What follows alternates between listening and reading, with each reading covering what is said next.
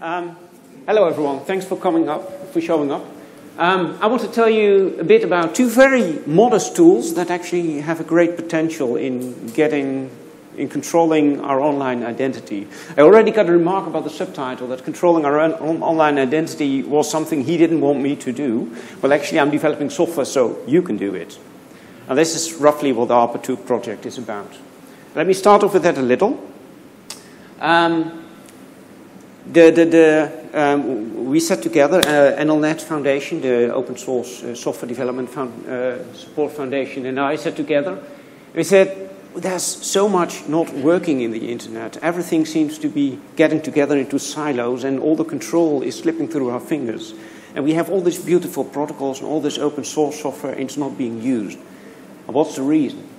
Well, we said we, we, we, we decided to work on that, and basically what our goals are to put users back, end users back in control of the internet, and use open protocols to, to connect things. I mean, why not use XMPP when it's available for chatting, for example? Um, and similar with SIP, why, why pay a telco for, for telephony? It's ridiculous. We all have great broadband connections. So, how can we actually give end users more control of their online presence? Well, techies, most of us are technical minded people, so we run our own server machines and we probably have a handful of domains or perhaps a bucketful um, in practice. And we also just run our own servers if we feel like it. I mean, there's no reason not to do that. But not everyone is a techie, and we could hope for that to change, but, well, that's not going to happen. So end users, in effect, are the bait of the few silos that do more than and this is where the problem probably is at heart, uh, hosting providers which do nothing more than a LAMP stack, roughly, and they have been doing that for 20 or 25 years, and they haven't added to their stack.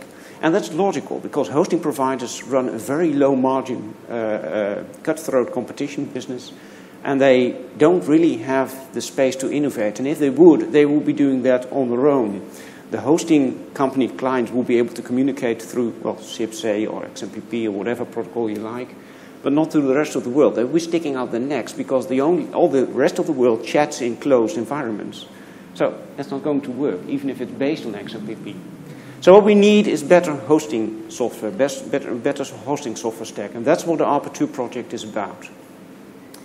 I use two names for the projects that we do. ARPA2 is basically the umbrella for all the practical uh, development projects that we do. And uh, if I use the name Internet-wide, it's like the portal, the, the, front end towards usage, like the blog, and it's where we try to get funding for the individual ARPA2 projects. And I'm lucky enough to be the architect of this. Sometimes I say I'm redesigning the Internet, which is pretty silly, actually, but nobody else is doing this, and that's very, very awkward.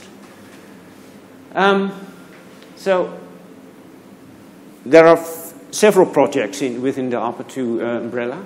Um, and what we're now critically interested in is our online presence and our online identity. Because as soon as you control your identity, you can step out to people and say, this is me, and now I want to have service.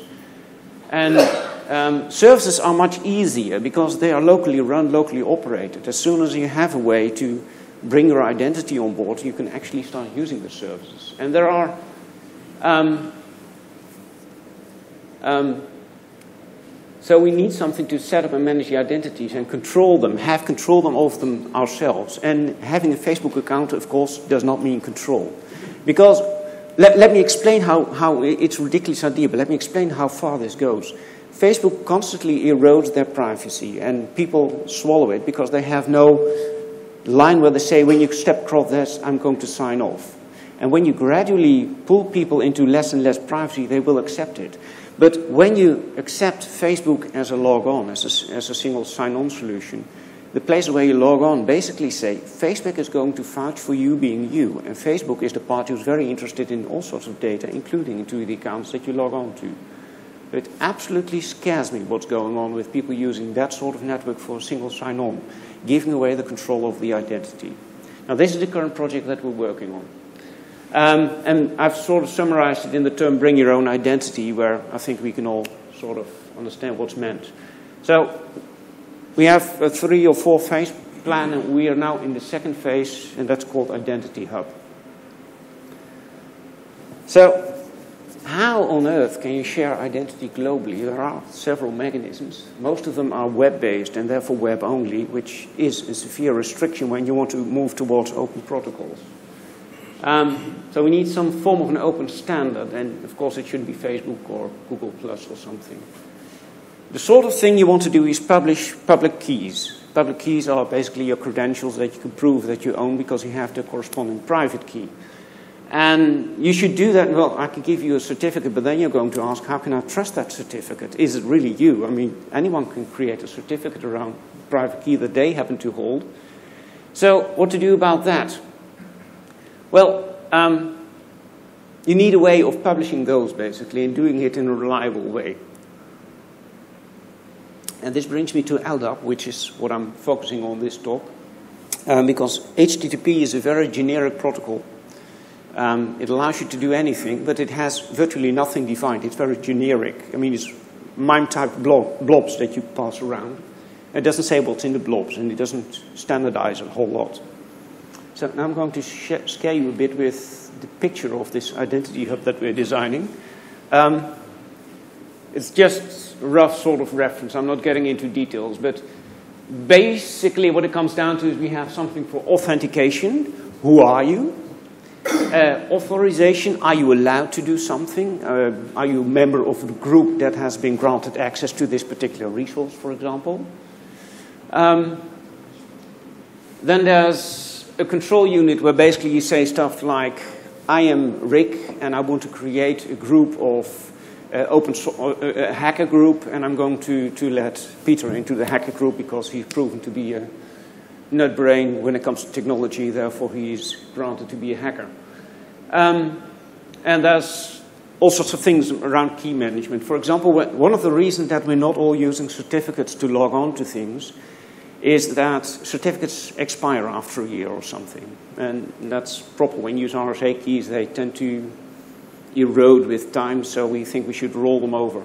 That means that when a private key is located with an end user, they should actively generate a new key and they should uh, upload the public key and go through the entire certificate rolling mechanism, which is extremely tedious and confusing for end users. And I'm not sure it actually adds to um, the security. Do you have a question? Yeah. Uh, can you compare this to OAuth, maybe? Uh, OAuth is a web-only system. And that means that all the, the fun that you can have with SIP, XMPP, and that sort of thing won't work. Um, so what we're aiming to do is to be compatible with OAuth, but be more general inside, so that we can also do Kerberos and, well, whatever else. Yep? Um, so this is basically about key rollover and that sort of thing. Um, this is about the user controlling their identities, and then there are a few things. Uh, the way of that, that, we want to deal with uh, key rollover is having um, basically PKCS 11 hosting. PKCS 11 is an API that you can use to access uh, private key material. You can say, generate a new key and give me an identity that I can use to, or I can search back for it later, give me label, labeling on it so I can search for it. But basically, you can ask over PKCS 11, please sign this with the private key, please decrypt this with the private key, but never ever hand out this private key. So it's an API that sort of conceals the private keys behind it. And the nice thing is it's, it is an industry standard, but it's very broadly supported and you can get anything from a piece of software like the Soft-HSM from the OpenDNSSEC project. That's a very good implementation actually all the way up to hardware machines that are replicated across uh, geogra ge geographic locations and that sort of thing. So there's a wide range of implementations possible. So you can actually have differentiation in the sort of services you offer. Um, so the thing we want to do with PKCS 11, it's normally a programming API. We want to use it remotely. So we set up an ASN1 specification to be able to do that and that sort of thing. Another thing that is not common, but that's a realm controller or KDC, meaning Kerberos. Um, Kerberos is actually a very potent protocol.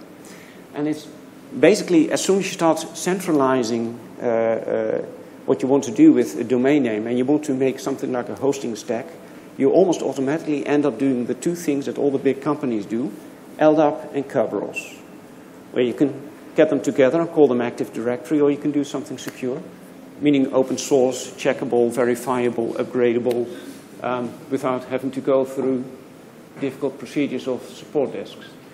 So this is really the stuff that should be open source as far as I'm concerned, and this is good stuff.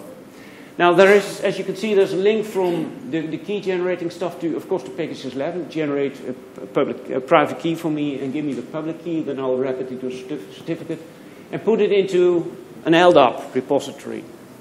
And the reason for doing that is that anyone can look in an LDAP repository. It's an IETF standard and it's a perfect way of searching for, I want to have the, the, the, the information that belongs to user ID John under the domain example.com. That's the sort of thing, and it's, it's very well written. These are very well written standards. It's a peer-to-peer protocol, for example. Nobody knows that. There's many, many very interesting things in there. So what we're after is basically pu publishing the identity, the public identity in, in LDAP, having Kerberos uh, for those people who want to use that. I thought it was too near. Um, and uh, PKCS 11, of course, for private keys, so only for, for users to, to control. And there's going to be all sorts of work integrating into web, email, uh, uh, that sort of clients, so that they can actually employ the identity work. Um, all of these components are probably going to be Docker containers, and they're going to be connected with AMQP. AMQP is an OASIS standard for uh, the 1.0 version is an OASIS standard for communicating uh, messages reliably. So it's a very good way of saying, well, I want some work done. Here, go ahead, and you do your part and let me know when you're done. Um, and the reason for doing it with that is that, for example, you could say, well, I like this. I like the PKCS 11 idea. I want it remote because I want to use it from my mobile phone, and I don't really want to um, store my private credentials on my mobile phone, but I want to store the access to my private credentials at best. Um, but I do want to have control because I have my own 19-inch thing in my rack and I want to control my own identity, my private keys. And um, by using Docker and MQP, you, you have the scalability that a hosting provider needs, but you also have the flexibility to say, well, this particular customer for this domain runs their own PKCS 11 the, on this 19-inch rack or perhaps on their Raspberry Pi. Why not? So you can actually host your identity yourself. I hope this serves you right, because you said you didn't want me to control your identity, trying to hand it all out. But I also am trying to get hosting providers to have a better identity platform. So the bring your own identity stuff, how does it work? Um, we have to rely on standards because otherwise we are just replicating what Google Plus does and what Facebook does. That's not, not going to bring us anywhere. But actually, everything's already there. Uh, domains, you can rely on them through DNSSEC. DNSSEC signs DNS records all the way up to the root with a trust chain going there. So you know that the domain is actually the domain you want to have. That automatically means anything you find in there is signed and therefore reliable if you validate the signatures. Um, but that can be enforced, of course.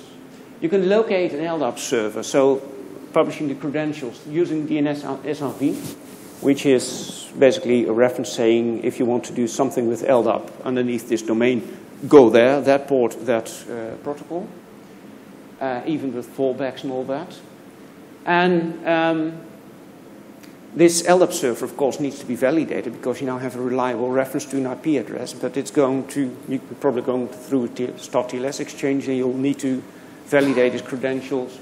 Well, certificates of service can, in a standard way, once again an IETF standard, solid standard, um, can be put into DNS using a technology called DANE, which basically says a hash or an entire certificate is stored in DNS.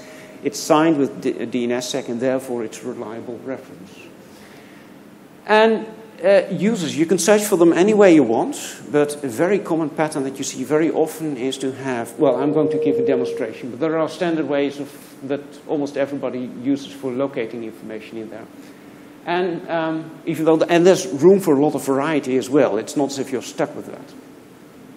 And um, now, now that we have a reliable connection to LDAP, we know it's for a particular domain. We know we can ask it for users in that domain can actually ask it to hand out public key material, like an X509 certificate. And all this is commonly implemented. It's commonly, there are standards for putting X509 certificates in. There are industry standards. I mean, there's one specification that everybody uses to doing PGP keys in it. The PGP key service, the, the central key service, for example. Why are we using for PGP relying on central PGP key service? I mean, they are practical in the way I can search for an, for an email address, and even, though, even if you do it over the web, it's internally it's often LDAP. Um, I can use the web or uh, LDAP to query a generic key server for information, but I can also walk up to the LDAP server that I know serves the domain I'm interested in, and I can download the public key, and I don't have to go through all this web of trust stuff. And the, the, the, key parties are wonderful fun, but not for everyone. It's not everyone's cup of tea. And being able to just download a key from a trusted location that you know will serve the right certificate, the, the right key, is going to be really helpful, especially when it rolls over, when uh, aliases are going to be added or alternate keys are going to be inserted, and that's all possible with this framework. By the way, GNU, PG actually implements this. There is, a, I've forgotten the particular command, but you can just tell GNU PG, please take this email and encrypt it for record openfortress.nl, and it will go for the openfortress.nl domain. It will look up an SRV record and it will download the PGP key that belongs with it if it doesn't have it cached. This is completely implemented in GNU PG. So why are we not running our own LDAP servers underneath our own domain? Well, that's what I'm getting to, I suppose. Not, not yet, though. Um, first, I want to tick off something that is probably going to be a question anyway. Why don't you use a RESTful server to, to, to exchange uh, keys? And that's a valid question, but I think I have valid answers as well. Um, REST is quite limited in what it, what it defines. Uh, the REST, first of all, it's not an IETF standard, of course, but that's fine. Um, it, it's so generally used. Yeah, well, it's not very specific. People use it all, sorts of ways. But basically, it's a typed transport for blobs. It doesn't allow you to look inside the data or to search for something that has particular fields in it. And that's exactly what you can do with LDAP. Um, you need to know where to look. You need to know what path is used. To, there might be a subpath under which a particular data set is stored, and that can be, can be confusing. Um, the layout of the file systems, there are exceptions, like there are WebDAV sort of things that actually define how to get to an index, but for public keys there's nothing as far as I know. Um, the typing is, I don't know why I put that up. still, no, let's skip that one. Um, authentication, there are quite a few ways, OAuth being one, of course, uh, SAML being another. Um, Open, OpenID Connect. Uh, there, there's quite a few systems that are all very interesting, but, well, which one are we going to use? Are we going to support them all, or are we going to just be friends with the people that use a particular uh, system. That, that's, that's a pity. With LDAP, it's very easy. It's SASL. And that still means there's a lot of choice, of course. But um, you can actually you get a list of choice, and you can make your choice from it. And as long as there's something that client and server have in common, it's going to work. Um, and, and, there are implementations of SASL that do the whole thing. Oh, sorry. Um, when you want to extend something, you need a particular behavior for your particular system. Um, then in case of REST, there is no like central registry where you could claim an identity so that you know it's going to be yours. With LDAP, um, even though names are used for attributes, these are actually underwater. They are object identities. So there's a tree structure of, of, numbers in this case, not of DNS names, but of numbers. There's a tree structure where you can have your own, uh, your own node and underneath you can make your own identities, meaning you will never ever clash with somebody else's local definitions. That I think is extremely powerful and it's one of the many, many things that are very well designed in LDAP. Um, format for X509 PGP SSH. Um, no, SSH keys I've never seen. Uh, PGP where you can, you can dream up a MIME type for X509. There are MIME types actually, but it's not really commonly done. And with LDAP it's very commonly done. Active Directory does it, for example. It just stores certificates in the, in the LDAP repository, the LDAP side of uh, Active Directory. Now, how, how, does it work using LDAP? Just for those of you who have never used it. Um, basically, you start off at a certain point, and DC is example, comma, DC is com, is what you would do when you search for uh, something underneath domain example.com. Especially when you looked up the SRV record, this is your start place. And by the way, going down is in that direction. So you just prefix these attributes. DC means domain com component. That's what everybody in the world calls a DNS label. However, this is a standardization committee, so they needed to invent their own name, of course. Um, underneath, you don't need to know the structure of the LDAP database, but it's very common to search for user ID, UID equals John, for example. And you would be looking for John at example.com. There are many other ways. You could look for mail is john at example.com. This is one of the things that many people do. And so it's also what we are going to do. Um, there might be an interesting uh, uh, uh, problem with that because if you can approach LDAP and look for all the uh, user ID fields underneath example.com, you would basically get a list of well, what are probably going to be email addresses or, heaven forbid, SIP addresses where you can call people. Um, so there's a privacy problem there. Um, and one of the nice things of doing this sort of stuff in um, LDAP, rather than, for example, posting it all in DNS, when you put it in DNS, you have no control over who gets to see it because the DNS protocol is not going to make a difference between any clients. With LDAP, you can require that people authenticate, or you can look into this particular search query and say, I'm only going to deliver the user identities that are being named, for example, so you can add extra filtering to enhance privacy. So I think that's another side where LDAP is much more uh, potent. Um, and you, what you would receive is uh, uh, uh, a couple of uh, objects with, well, this is, this an attribute name. These are the, this is the value. There can be multiple values. But this is basically how LDAP looks. Um, gosh, I'm going way too slowly. I'm halfway. Um, but I did mention most of this, I think. It's important to realize that SQL is not a data access protocol because it's, well, it dumps text tables. Yes? Oh, okay. Yeah, the speaker's in the back of the room. That's well, not in the back of the room. Uh, you are going to make me speak up? Yes. Thank you. Thanks. Yeah, thanks for mentioning it. Um, yeah, I think I mentioned all the other things. So there are a few downsides. The servers for LDAP are actually very complex to, to, to set up. Open LDAP is not a sneeze. And that is one of the hindrances. And the, the tooling is also, also not always very pleasant, but there are very good tools to use it. So if you want to, you can actually do it. Um, and especially when you get into a territorium that is for a particular purpose, like uh, uh, contact uh, management, for example, contact address management, you've got very nice GUIs, and they can still talk to LDAP. Um, there's usually, I have to say usually, there is some way of getting dynamic stuff going, but there's nothing of the power of having CGI bin scripting or PHP scripting in, in LDAP. that I think is a big, big miss. And that all, it's also very difficult to extend. You really have to dive into the server and extend it. So it's quite a different model from adding a script to your web server. And this is where LillyDAP comes in. Now, first, quickly, LDAP uses uh, something called BER. That's an encoding of ASN1, the, the syntax notation. Uh, basically, it's split up in tag, length, and a value. And if the tag indicates it's a nested stuff, then new tag length values can be nested in there. And DER and BER are pretty similar. BER is more general. You can have hundreds of ways of writing a length, and in DER there's only one. Um, is nice for certificates because you need to sign it, so you want to have a canonical notation.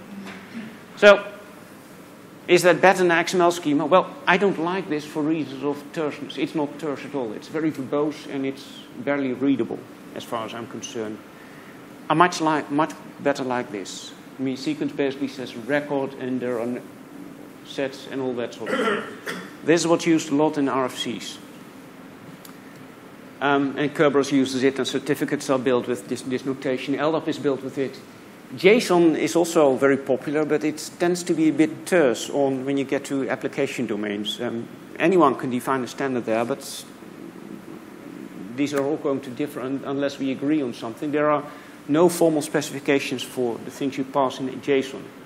meaning you need to write your own software. You need to reinvent much, much of the things. Um, so to be able to use to process DER efficiently, I created something called Quick DER, which is quick and easy uh, uh, processing, parsing and unparsing, parsing and packing again, so unpacking and packing of the DER notation.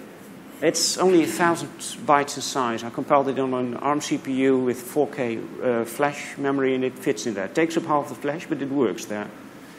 So that's just to give it an idea how small it is. I'm speeding up a little because I'm, I'm talking too much. Um,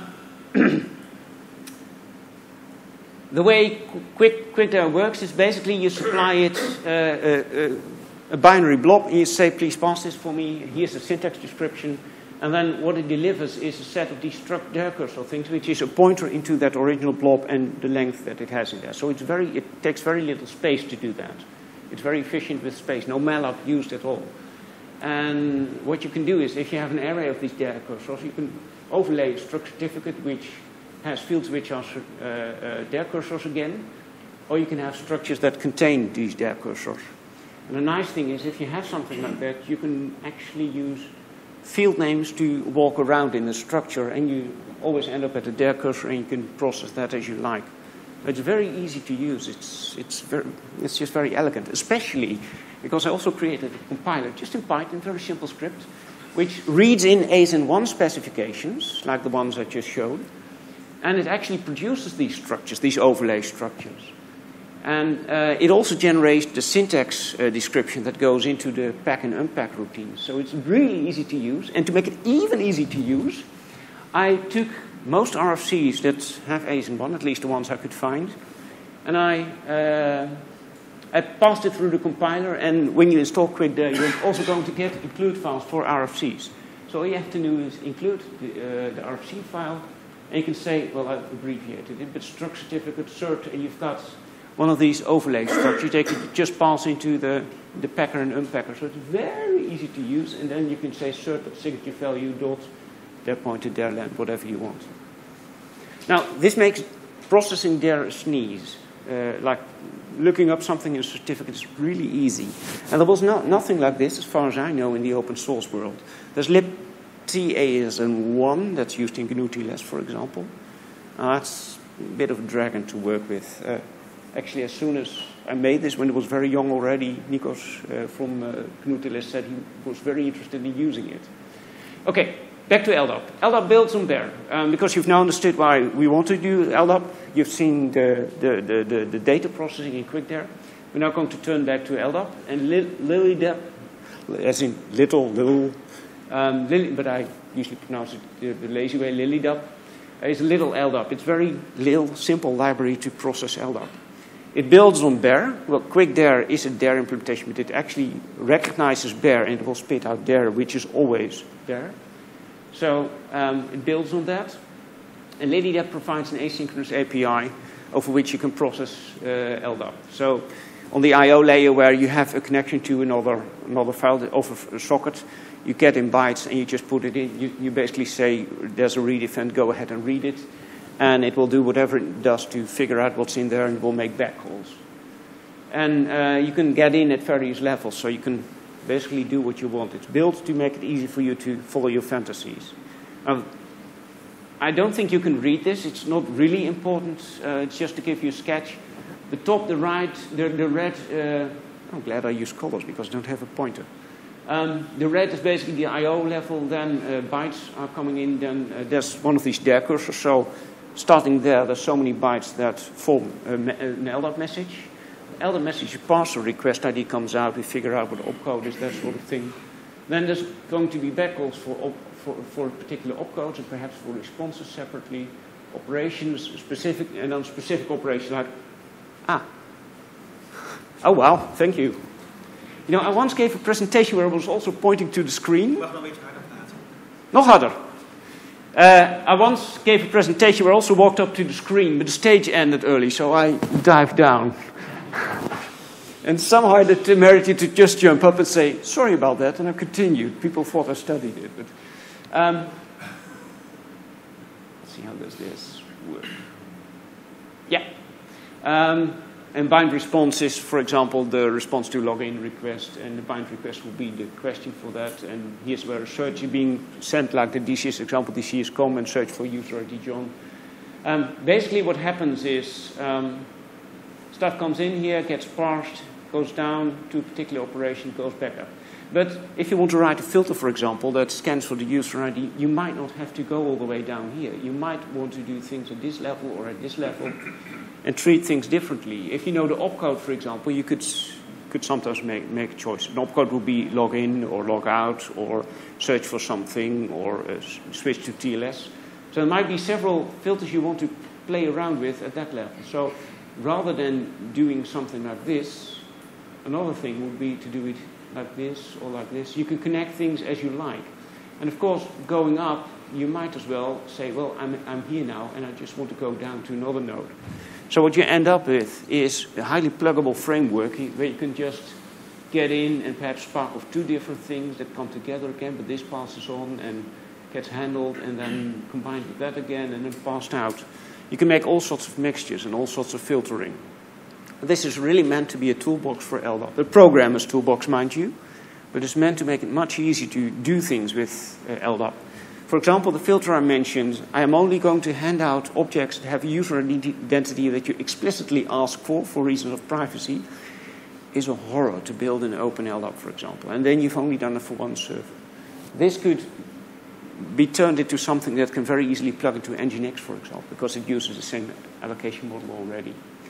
So you can do stuff like well, these fil filtering queries, for example. Um, you could provide some information to anonymous queries. You don't have to log on with, with LDAP. You can make public queries. They might just show certain data, and authenticated users' uh, queries could see more. For example, their own objects stored into LDAP. Um, and that might, for example, be a reference to a PKCS 11 object with a private key uh, li linked to the, to the uh, certificate that they have. Um, you can also restructure the LDAP tree. For example, you could have a certain prefix and say that goes to backend one, and perhaps I want to rename what's here. Um, that sort of thing is all possible. This is what I said. This is built to be, become a part of Nginx, or at least follow the same approach, to be a front-end proxy and to allow distributing LDAP queries, because they're so important for our work. Something you can do with the dynamic lookup I talked about before, the, the lack of scripted uh, lookup possibilities. You could is it called? It's called. Oh, it's called GNU-PG, I think. I didn't look it up. I used the wrong name. Sorry about that. But basically, you can serve OpenPGP keys from there over LDAP. That's exactly what I just said before. You can. There's a standard way of hanging an LDAP server underneath your domain and serving up keys, and you can do that here. I haven't built it yet. I have a lot of things to do. You saw that complex picture, so I don't know if it's ever going to happen, but this is quite possible and shouldn't even be difficult, even though LillyDAP is quite young software. You can do a similar thing with X509 certificates. Um, I heard at some point that the, um, the, the, the, the, I think it was the Open Desktop people who really wanted to have a way to share uh, certificate authority uh, certificates, and they were thinking about doing it in this PKCS 11 API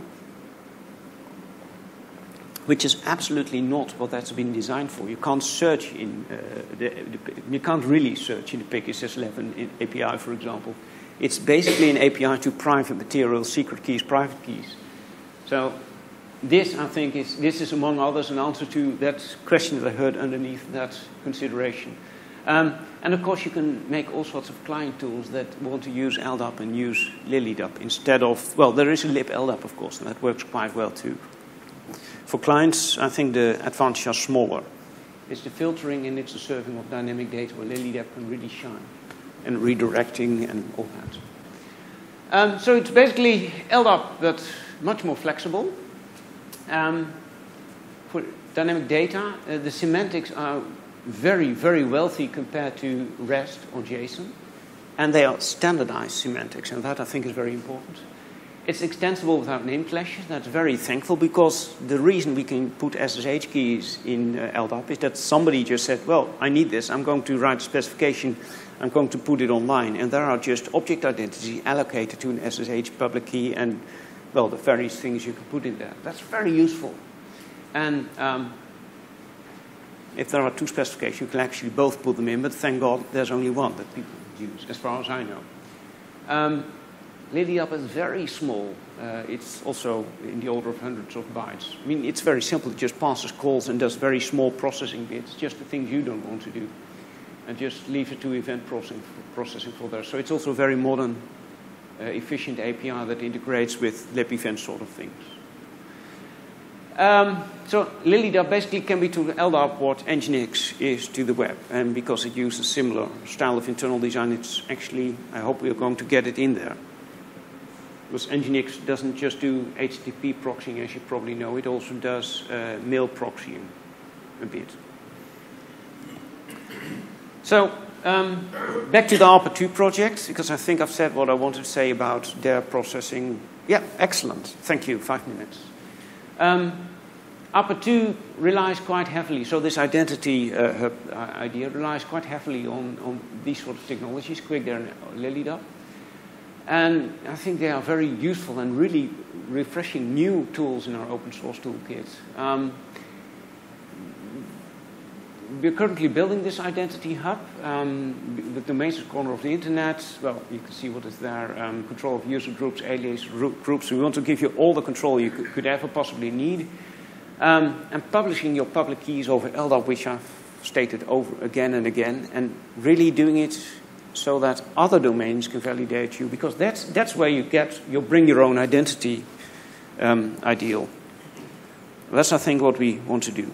Now, this is a bit of an advertisement. We are an open source group, and we have, but we have some funding. And if you are, or if you know someone who's interested in this sort of technology, don't hesitate to, to get in contact. Maybe during the lunch. I'll, we'll leave after lunch, but during lunch, just step up to me and talk just to get to know each other. Um, we have some, some facilities to, to, pay, to paying people something. Um, it is a big project and small budget, but that's usually possible. And the sort of thing we're interested in is um, LDAP for public credentials, authentication, authorization, user control of users groups, um, key management automation. This PKCS 11 stuff remotely is something that we need to automate. And we do some stuff with Docker and AMQP. This is basically the technology that we are looking at at the moment. You and have already a, a, serious application in mind? Uh, XMPP, SIP. Uh, I mean, uh, in your projects, uh, are you developing running? Um, no. Um, yeah, we have many things in mind. Um, the first thing we're going to do is probably going to be OpenStack Swift, because the way we want to restructure hosting, very arrogantly, I know, is into two sorts of hosting. One of them being identity hosting, and I already went into the questions, as you see, but because this is roughly my last slide. Um, um, an identity hosting uh, part where this, this stuff runs, and then plug-in services that can come from anywhere that use a standardized API to plug into that, a standardized method of somehow attaching to the domain that you're managing in the identity node. And that we think that's a good idea because um, um it allows specific service providers to offer services that you can use under your control, under your uh, identity control.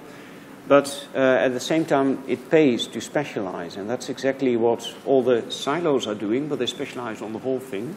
What would be very interesting to us is to have a market position where everybody, uh, everybody is in the facility of making something great, a particular single service.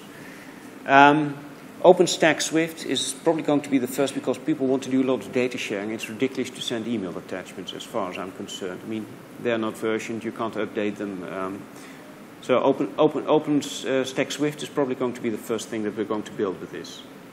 But at a certain point, we want to just standardize an API and hand it out to people who actually write the software. Say, hey, you made this cool software. Would you like to link in so that all those hosting providers accepting this could run it? Okay, a few links for further reading, including my email address. Um, don't hesitate, well, do hesitate to spam, but uh, otherwise, if you have something interesting to say, please get into contact and um, look up the information. I'm ready for questions, and the questions are ready for me, so hold on. huh?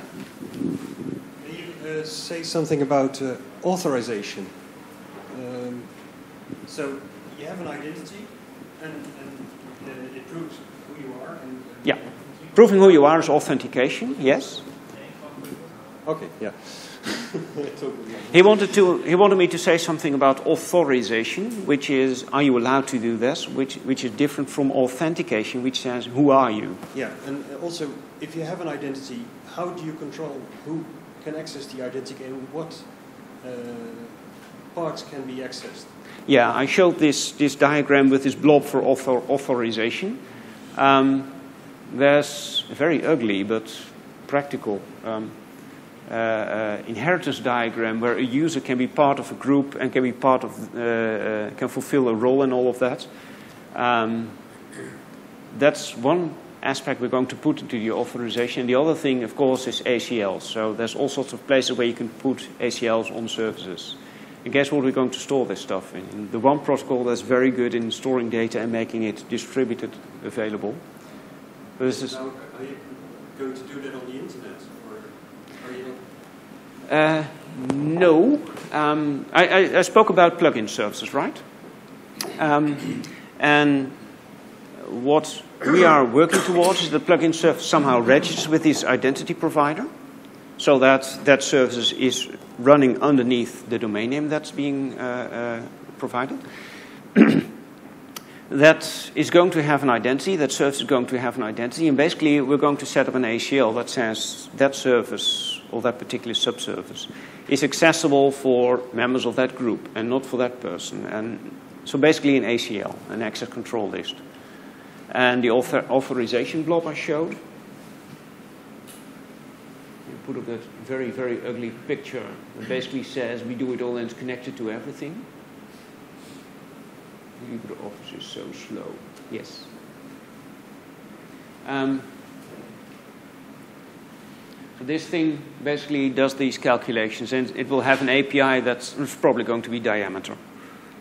Diameter over AMQP so that we have the distribution advantage, and in the future, even plugin services can use AMQP to get to the authorization to ask questions. Is this particular user that's now knocking on my door, who I have authenticated thanks to a publication in the, in the LDAP directory, can this plugin service that has authenticated the server actually authorize access to a particular resource. And that's, so that's basically going to be, um, I wrote some things here for future, future extension. That's actually the third layer of our architecture. This is really complex, it's really big. It's a lot of fun too. It's great to architect all this. Um, the access control basically can use probably AMQP to actually ask the question over something like diameter. Okay, thank you very much. Radius is dead, right? Okay, so I think we have one time for one small question, if there is any. Behind you. It, it, uh, it uh, pops into my mind. It, um, what if I wanted to have the authorization somewhere else? So say I have a service that I want to be, make available for NL users groups, and I want to ask uh, NL yep. users, is this guy a member? Yeah, uh, no problem. Um, that's why we decided to do the, uh, the routing between these components over AMQP because then you can sidetrack something to another component. I use the example with the PKCS 11 that's very sensitive that you might want to do privately, but if you have your own idea about authorization, go ahead. And the whole idea is that we're going to make a, a, stack that hosting providers can install that has standard behavior, and if you want to override some of the components, you can do that. And there's nothing wrong with taking the basic software that we're going to build for this and taking out a component, running that on your Raspberry Pi if you like. I don't know if I would run my authorization on a Raspberry Pi behind a NAT router of KPN, but whatever. Um, um, especially on the Experia box. Um, but the, the, you can take all these components out, override them, change them, whatever you want. That's why we chose AMQP as a messaging protocol. Yeah. Okay, Rick, thank you for the great talk. Yeah. Um, oh, wow.